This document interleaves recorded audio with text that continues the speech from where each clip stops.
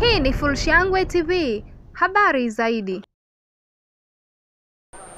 Wewe ni mama unavaa nguo uchi nusu uchi, mapaja yote yako nje, mtoto wa kiume ana, anaangalia, unategemea nini?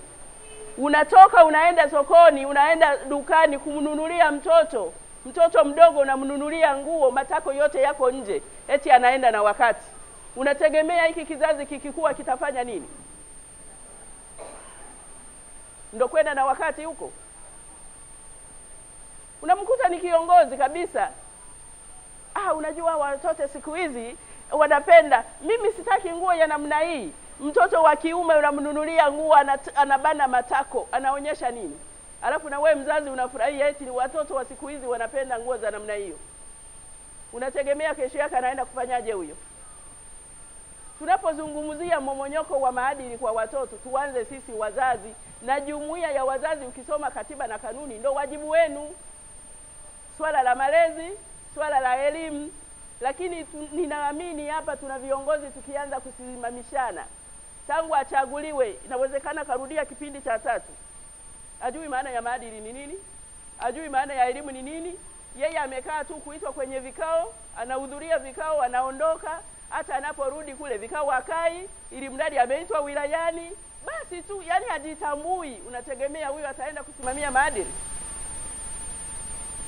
Watoto wanaenda shule, ameenda amerudi, una muda wa kumwangalia, una muda wa kukagua daftari zake, una muda wa kuzungumza naye. Akiingia ndani, wali toto, hebu naenda pale dukani ukanichukulie mchele.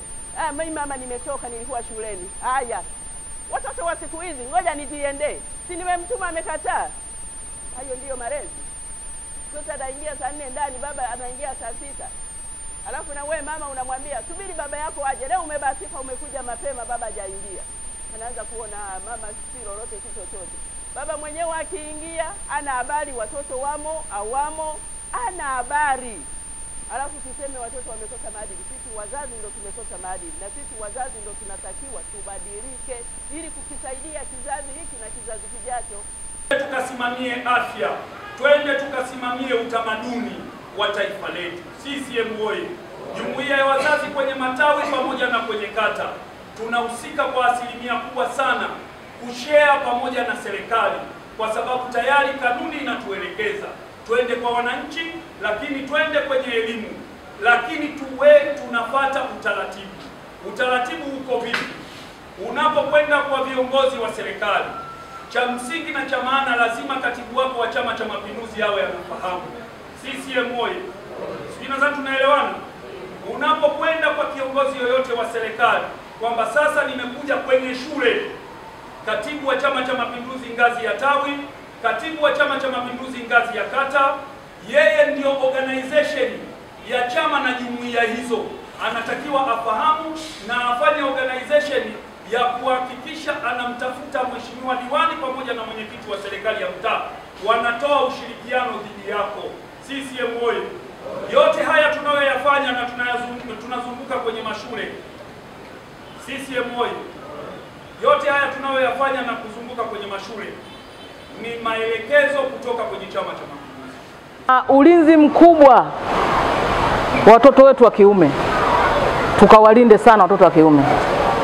Yaani kuna mporomoko wa mmomonyoko wa maadili wa watoto wa kiume, ni janga la kitaifa lakini sisi tunatakiwa tuseme kama wilaya ya Ilala, na kila mmoja akaseme kwenye kata yake, na kila katibu wa tawi akazungumze na wananchi wake. CCM oye!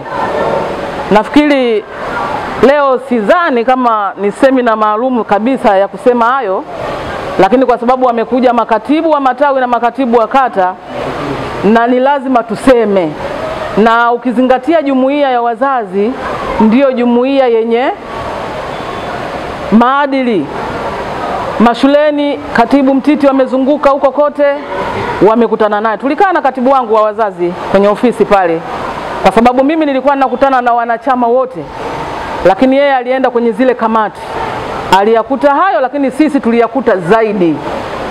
Lakini sisi tulijaribu kukutana mpaka na polisi kata, nao walituambia, lakini walisisitiza sana wakina mama tujitahidi tusifiche fiche, tuyafikishe au tuyatoe kwa uwazi na tuende kwenye vyombo vinavyostahili. Tuache na zile habari za kumaliza wenyewe kwa wenyewe. Jambo limejitokeza, unasema mimi yule ninamfahamu, basi mimi niko tayari, tunaenda kwa mjumbe, tunamalizana kwa mjumbe wa shina mwenye kupewa shilingi elfu mbili, basi mpelekeni hospitali. Hapana, mtoto atakuwa tayari kisikolojia hayumo tena. Niwaombe sana ndugu zangu, jumuiya ya wazazi, ili jambo tulibebe kama jumuiya ya wazazi, tushuke kwenye mashule, lakini twendeni kwa wananchi tukalizungumze. Hali imekuwa si nzuri sana. Hii ni Fullshangwe TV, habari zaidi.